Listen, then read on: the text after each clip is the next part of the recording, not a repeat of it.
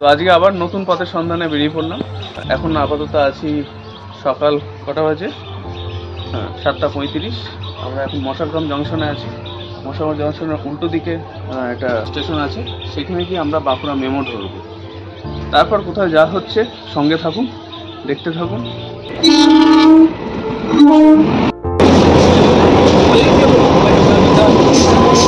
বাঁকুড়াগামী ট্রেনে মেচা সন্দেশ উঠেছিল। সেখান থেকে মেচা সন্দেশ কেনা হলো। এখন এটাকে রিভিল করা হচ্ছে পেট পূজার উদ্দেশ্যে। তো মেচা সন্দেশ এখান এখানকার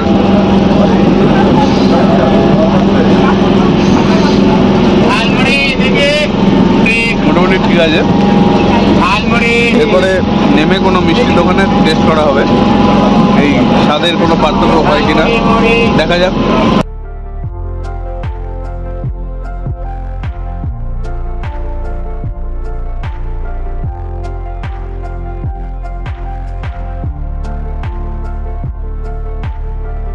বিলিয়াতর স্টেশনে নেমে পড়েছি।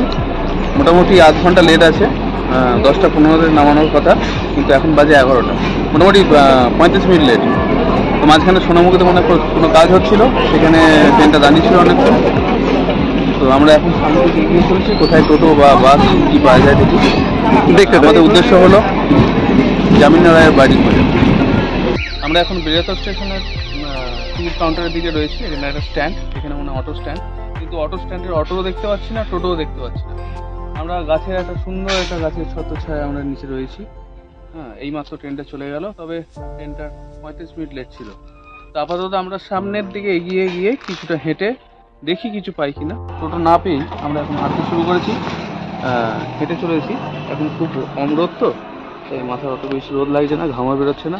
বেশ হাঁটতে বেশ মজাই লাগছে, বেশ টুইস্ট টুইস্ট ফিল হচ্ছে। এই হাতে একটা জল নিয়ে নিয়েছি। হ্যাঁ কুড়ি টাকার জল। বেশ ভালোই মনে হচ্ছে। এলাকার জল মনে হয় পড়ে আছে।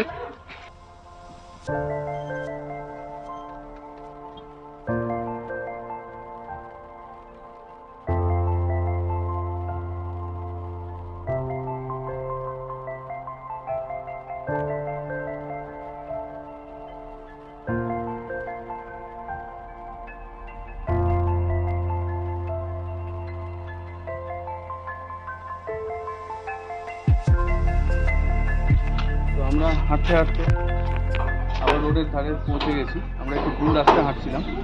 তো হাঁটতে গিয়ে একটা পুরোনো বাড়ি দেখতে পাচ্ছি। এখানে শ্রী সত্যনারায়ণ দেব ঠাকুর রামকৃষ্ণ মন্দির। এখানে যদি এখনও পরিত্যক্ত দেখাচ্ছে তালা দেওয়া সেখানে ঢোকা যাচ্ছে না। কিন্তু বাড়িটা বেশ পুরোনো। তাই বিষয় হবে। হ্যাঁ ভবানী রায়ের বাড়ি। আচ্ছা সামনেই তাহলে জামিনী রায়ের বাড়ি এই এই এই রাস্তাটা দিয়ে গেলে অপোজিট।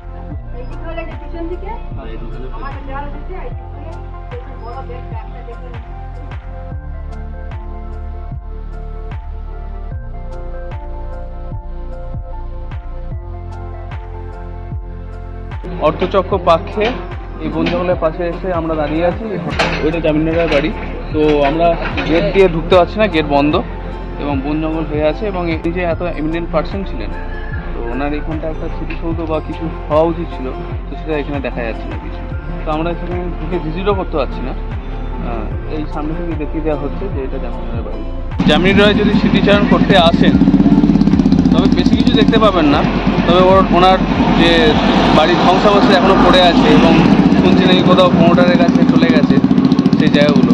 তবে যদি আসেন, তো এই দুর্গাপুর অথবা সোনামুখী হয়ে আপনি ডাকবাংলো মোড়ে নামবেন, সোজা গার্লস প্রাইমারি স্কুল চলে আসবেন।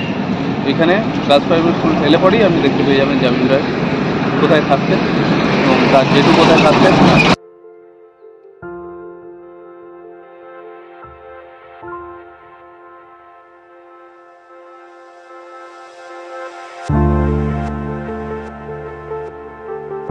চারটে আটের লোকাল চারটে পনেরোতে ঢোকার কথা, সাড়ে চারটেতে ঢুকিয়েছে। তো সারাদিন ঘুরে আমাদের বেশ ভালোই লাগল। যারা প্রকৃতির প্রেমী তারা এই বাঁকুড়াগামী ট্রেনটাকে আপনারা বেছে নিতে পারেন। চারপাশের প্রকৃতি অসম্ভবভাবে নিজেকে সাজিয়ে নিয়েছে এবং ক্যাটেল তার সাথে বড় বড় গাছ লাল মাটি একসাথে সব কিছু দেখতে আহ, তো আমরা এখন ফিরে পড়েছি মশাগ্রাম এরপরে আমরা হাওড়াগামী লোকাল ধরবো।